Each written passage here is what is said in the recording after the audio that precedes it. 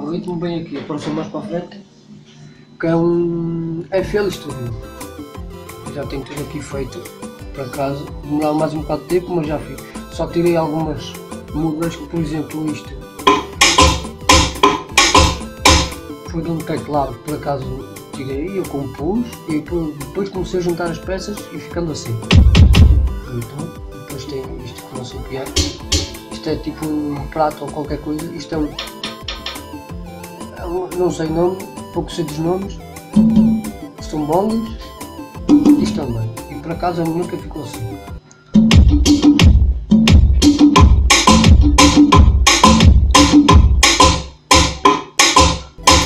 Vamos ao próximo. Eu estou a utilizar plugins normais. Este é um Poison normal, é um teclado que tem várias funções por acaso é o, é o que eu utilizo mais, é isto. Isto não é muita coisa, às vezes as pessoas dizem que para fazer um, ritmo destes é preciso ter um piano muito caro, mas por acaso eu não estou a fazer com um piano caro, por acaso olhem bem o que eu tenho. É um sintetizador MIDI da marca Behringer, só tem duas mãos,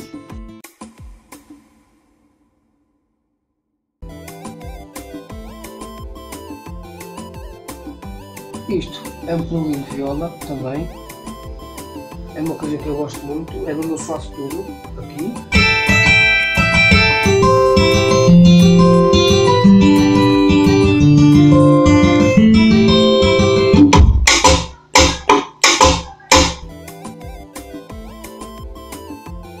Isto é um string, também ponho muito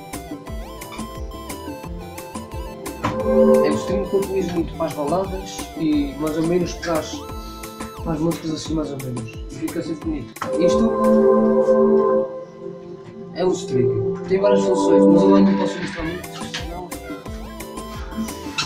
o vídeo fica demasiado longo. E a coisa mais importante é esta. O que eu mais adoro é o base, que é isto.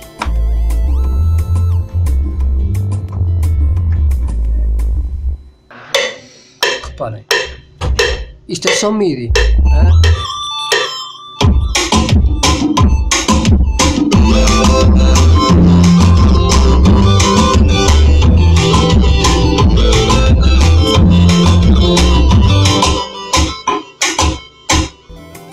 Depois, ao fim, é só uma pessoa tentar afinar o que fez, certo? Como por exemplo, isso aqui fica um bocado alto.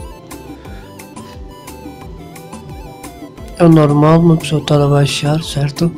Porque é para aquilo tem que ficar idêntico às coisas certas que tu fazes.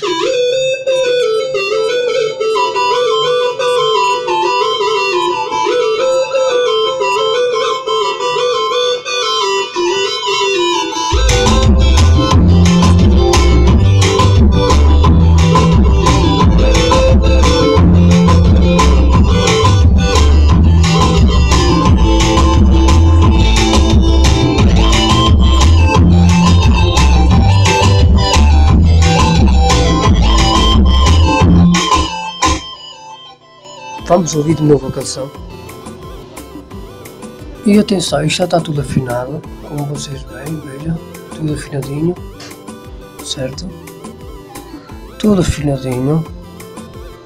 Muito fácil de fazer isto, mas é assim, para uma pessoa que entenda. Isto tem que ser as configurações entradas, é assim, não tenho qualquer tipo de compressor e placas gráficas. O que eu estou a utilizar é um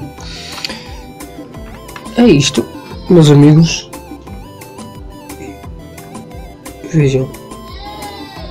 Coisa barata. Eu dei 30 euros por isto. Baratinho. Mais vale às vezes comprar uma coisa destas comprar uma coisa cara. Isto uma mesa normal, não é? Eu estou a gravar tudo direto, mas é assim, quando é por casa com fones, dizem que só mesmo as placas mais caras, como a Emalio qualquer coisa, dizem é que fazem a separação, mas normalmente não. Eu descobri por acaso uma engenhoca que, peço desculpa, hum, esta mesa média, eu coloco-a como entrada principal, de onde entrará piano, qualquer tipo de instrumento.